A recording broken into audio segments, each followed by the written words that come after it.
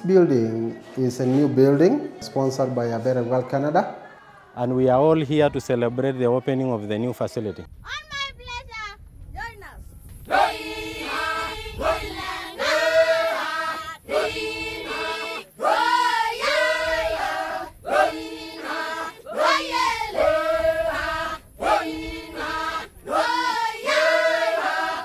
Well, this clinic is situated in the eastern part of the Masai Mara.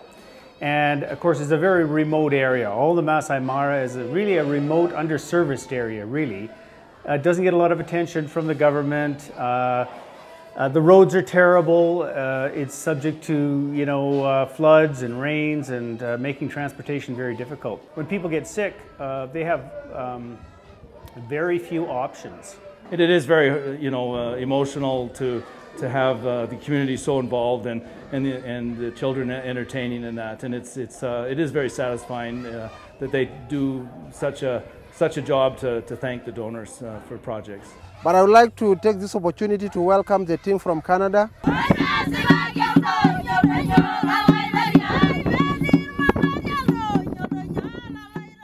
We have 24 business people who will be traveling to Kenya. Their main purpose is to follow where their investment is and to see how they can help a better world by seeing they'll have more confidence in their giving. Talek was the first place that A Better World uh, invested and created a, a, a, larger facility, a more sophisticated facility.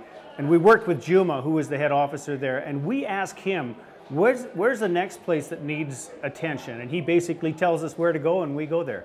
My name is Juma Samberab, and I come from Kenya, East Africa, Masai Mara. Uh, we brought Juma to Red Deer, Alberta, and in Lacombe to do some training with doctors who have been traveling over there, making a list of the needs that he has. So all this month he has been in training. They decided to give me an invitation to have some uh, training on some machine they want to put in our clinic, like uh, ultrasound machine and uh, X-ray.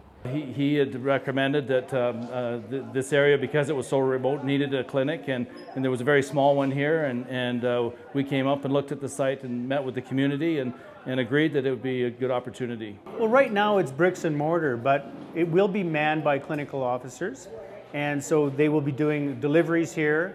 They will have a, a, um, solar panel system that will light the area to give them 24-hour uh, electricity. Uh, they will do mother-child health, so they will do vaccinations, well baby clinics, but they'll also do acute care medicine.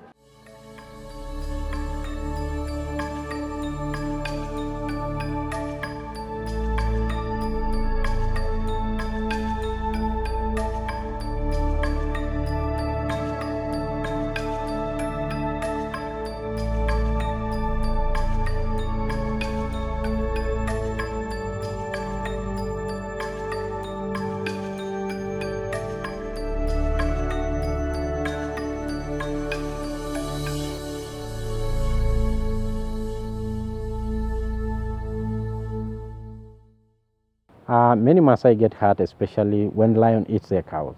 It's a weapon.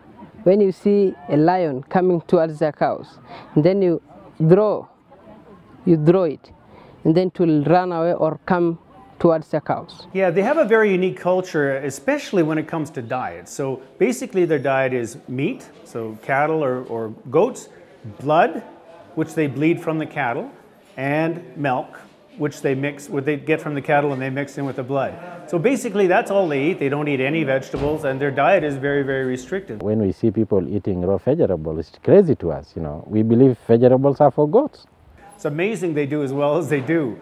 However, because they take blood from the cattle, they're very prone to a condition called brucellosis, which is spread in cattle. It can spread to humans. We don't have electricity. We don't have good roads the way you have roads here. We don't have uh, houses the way you have here. We live in manyattas. So it is just, uh, there is no comparison at all. You wouldn't, you wouldn't think it to look at it because it's a huge expanse, but there's a very concentrated population in this area. Well, I have uh, 42 siblings myself. My father was married to seven, and uh, any Maasai can get married as even more than 10 wives as he can, as long as you have cows. So depending on the number of cows, if you have a thousand cows, you can marry as many as you can. In honor of the project that we were involved in, was uh, able to get a second wife today. okay. Well, we've been involved with the Better World for, for um, a number of years now, and so education and, and healthcare are, are two things that are passionate uh, to my wife Kathy and, and myself. And uh, we just think that a clinic like this uh, uh, is a very good investment uh, uh, in what it provides for, to the community. Look after this new clinic, and it will look after you.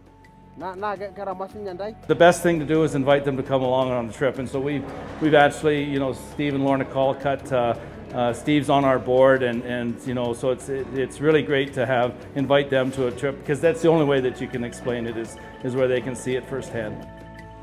The community people here are really, really happy when they actually receive this. It is a big gift to them, a very big one.